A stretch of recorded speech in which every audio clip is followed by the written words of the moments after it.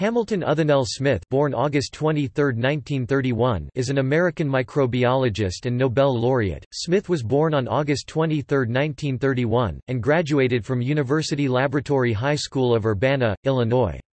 He attended the University of Illinois at Urbana-Champaign, but in 1950 transferred to the University of California, Berkeley, where he earned his B.A. in mathematics in 1952 1. He received his medical degree from Johns Hopkins University in 1956. In 1975, he was awarded a Guggenheim Fellowship he spent at the University of Zurich.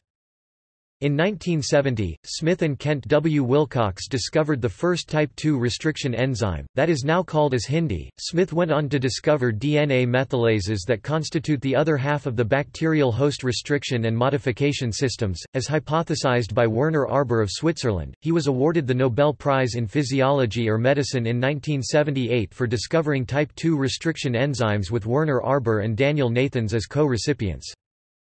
He later became a leading figure in the nascent field of genomics, when in 1995 he and a team at the Institute for Genomic Research sequenced the first bacterial genome, that of Haemophilus influenzae.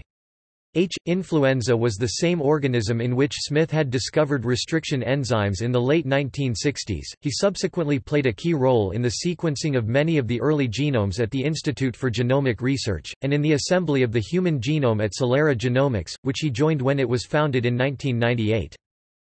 More recently, he has directed a team at the J. Craig Venter Institute that works towards creating a partially synthetic bacterium, Mycoplasma laboratorium. In 2003 the same group synthetically assembled the genome of a virus, Phi-X174 bacteriophage. Currently, Smith is scientific director of privately held Synthetic Genomics, which was founded in 2005 by Craig Venter to continue this work.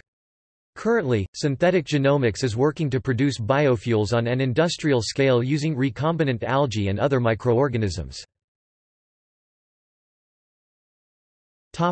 References This article incorporates CC by 2.5 text from the reference Topic. Further reading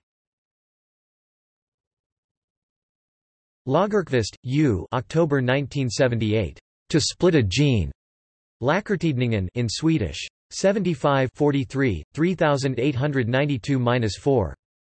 PMID 279742.